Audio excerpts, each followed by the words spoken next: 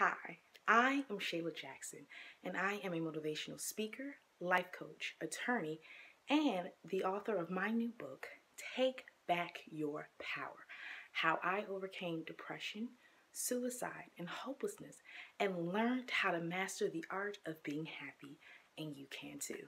And that's all thanks to Kelly Campbell.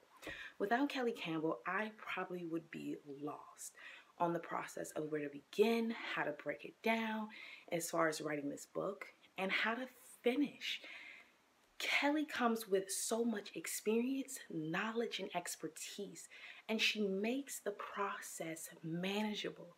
She doesn't give you more than what you think you can handle, and she breaks it down in easy to do steps that helps you not get overwhelmed with the entire process. And so she takes the the technical stuff out of it and takes it on for her to do so that you can focus on the most important part, which is doing the book. But not only that, there are things that, had I tried to do this on my own, I would probably have failed miserably. Because what Kelly brings is the, the insider knowledge that most of us don't even have when we're trying to self publish.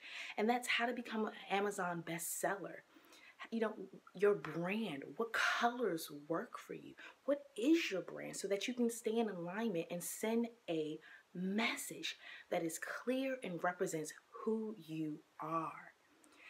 She makes sure that you get your photographs done for your book and that you have everything you need in your press kit so that you can start sending them out and get booked.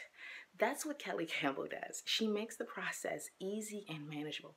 And then she gives you the resources and the tools that you need where you don't have to necessarily go out and hire other people, but you can do it in house because, see, now you know what to do, how to do it, and what's the best tools to use.